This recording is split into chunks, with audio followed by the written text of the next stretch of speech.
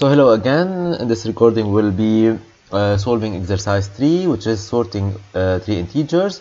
So we need to read three integers a, b and c from the keyboard and then we need to sort these values by successive exchanges. So we need to do some swapping in order to have a is less than b and b is less or equal than c. So for example, if I have in a 5 in b 4 and in c 3 at the end okay 3 at the end I should have a is equal to 3 b is equal to let's change this and put it 0 so a is equal to 0 b is equal to 3 and c is equal to 5 so we need to modify we need to change the value of the variable. So this is uh, uh, uh, an exercise that we have done on just two variables in the first um, maybe uh, first chapter the, the previous chapter when you have exchanged the value of two variables x and y. So let's start. We need three variables a b and c of type integer and then okay we print on the screen for the user enter three uh, integers. And then we have a scanf so in order to scan the value so 3 percentage d's address of a address of b address of c.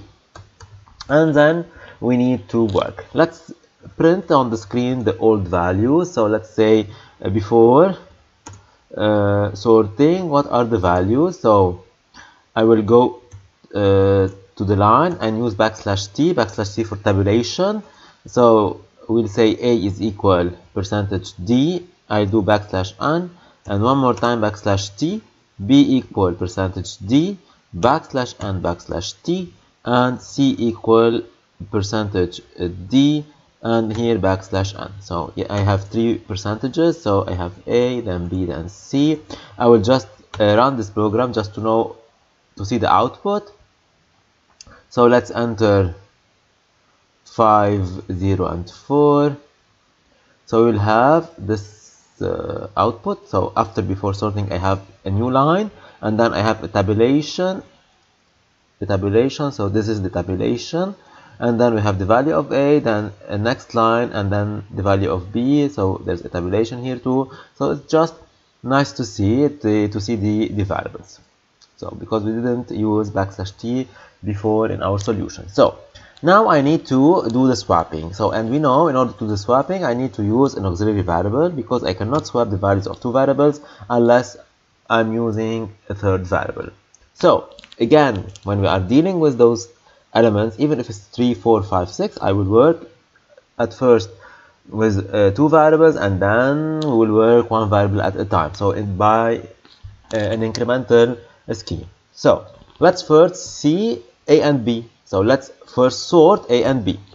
So let's see. If a is less than b do, uh, do I have to do something? So at the end I have I should have value of a is less or equal uh, than b. So if a is less than b what should I do? Should I do something? Probably I would not do something because at the end I should have value of a is less than equal than value of b and less than equal than the value of c.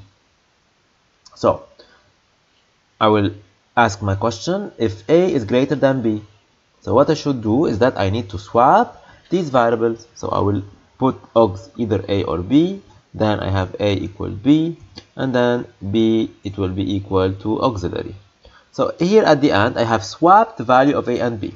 So let me uh, use printf at the end of the treatment here and see what happens after the sorting. I will give so will so c will remain the same however a and b will change.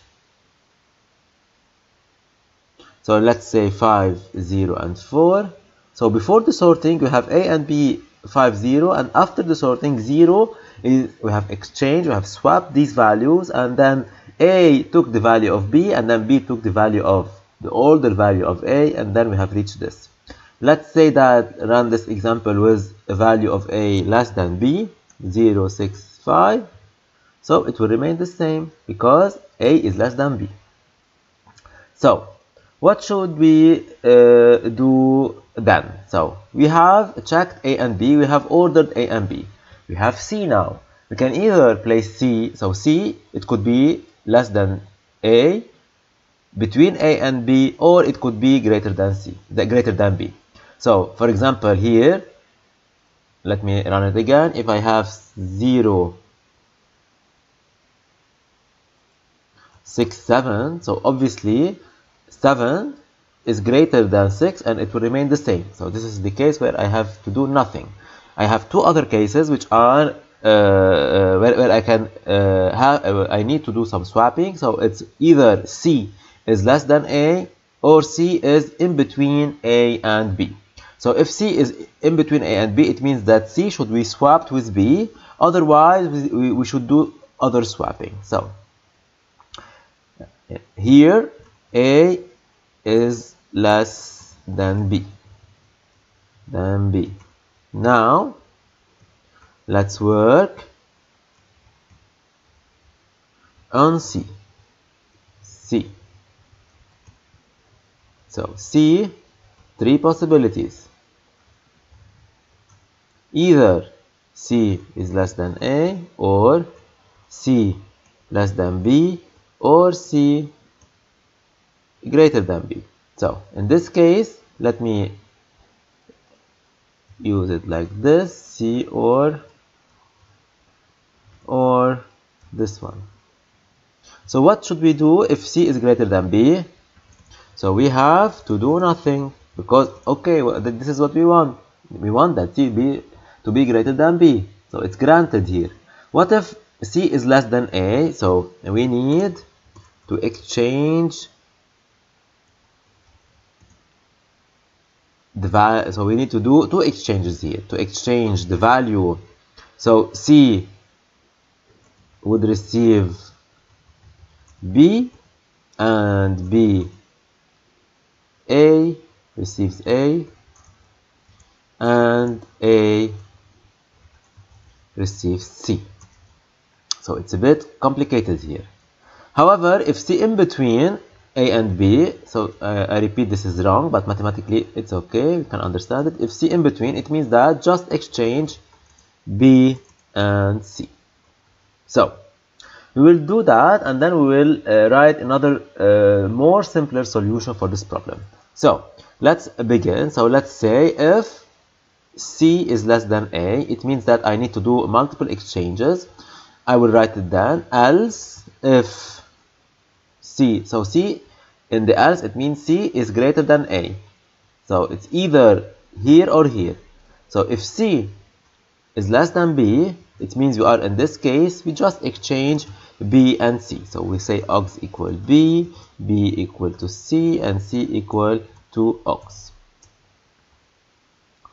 what we rem remains is here here we need to do multiple exchanges so first we will save the value of c in c i should put the value of b and in b i should put the value of a and then in the value of a i should put the old value of auxiliary. Again this is not so easy to uh, write here. I don't know what happened here. So it's not easy to write.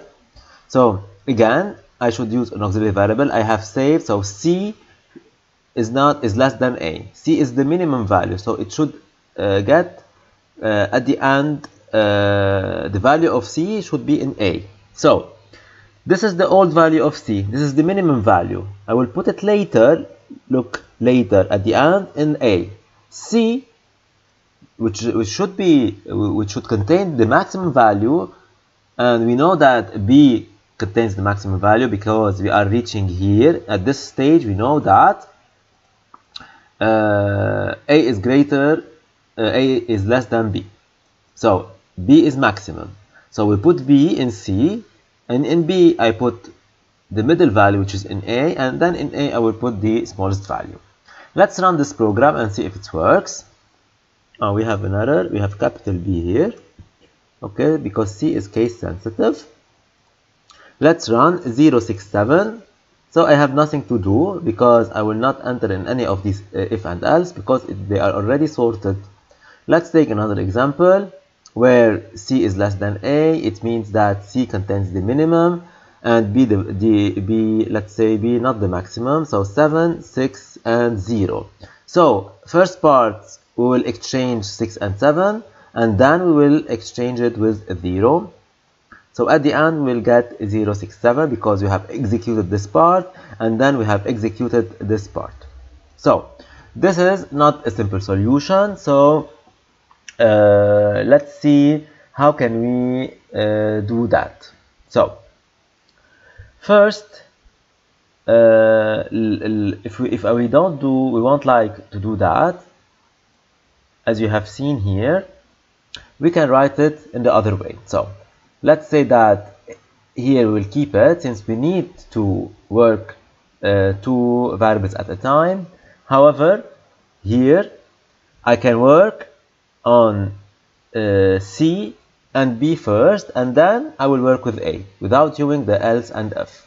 so since I am here this one I have I have nothing to do this one is just I have to exchange B and C and late and at last I will work with A, B, and C. So let me write it. So we will not do it like that. So if we have if C is if A is less than C, if C is less than A, sorry, what should we do here? So what we will do is that we will exchange A and C. How do we exchange? So aux equal to C, C equal to A, and A equal to aux. So whenever we are in this case, what does it mean? So I will just, so B is the maximum, C is less than A, which is the minimum. I have exchanged just the two minimum. And then I need also to do the exchange of uh, B and C so it will be here so I just use the uh, use the older code and just break the if into two if and else so let us uh, run the program and see what's happening. 607 or 7 so 677 okay. Let me run it again. I want to have C and C the minimum so let's say 670 and yes we will have it. So what I have done is that in the older solution we have here we had here two exchanges. So maybe it's difficult. So because we are exchanging C and A and then C and B so we can use we can break it into two if if it's more under uh, if you can understand it more. If not you can just um, stick with the uh, older solution. So both solutions are correct just it depends which one is more understandable for you?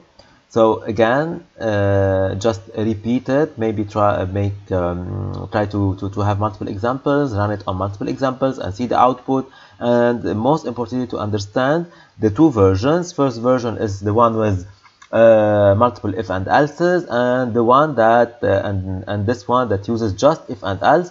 And because in the first one in the if c less than a we had to do two exchanges. One of these exchanges is this one and we are using it one more time. So we have uh, reduced the code and used to if. So the control of the program so how the prog program works let me repeat this one because i think this one is more difficult. So first we have uh, uh, ordered a and b. So here we have a is less than b here in the case so we, we are considering c. So if c is less than a i will exchange a and c. So here we will have in all cases if a is less than c if c is less than a we will have c b a. If c is less than a I will exchange the c and a. So at the end I'll have A, C, like this, A, B, C, because we have exchanged. So at the end, so if it is true, at the end I'll have the, the contrary, it means A less than C. And in the case that C and B are not ordered, I will do the uh, exchanges. So you can either stick with this one or the second one. And again, if you have any questions, do not hesitate to send it to me uh, or comment on the program on the uh, well, on YouTube and I will try to answer it as soon as possible. And do not forget to subscribe to this channel and to hit the bell icon to receive all the notifications. And thanks for watching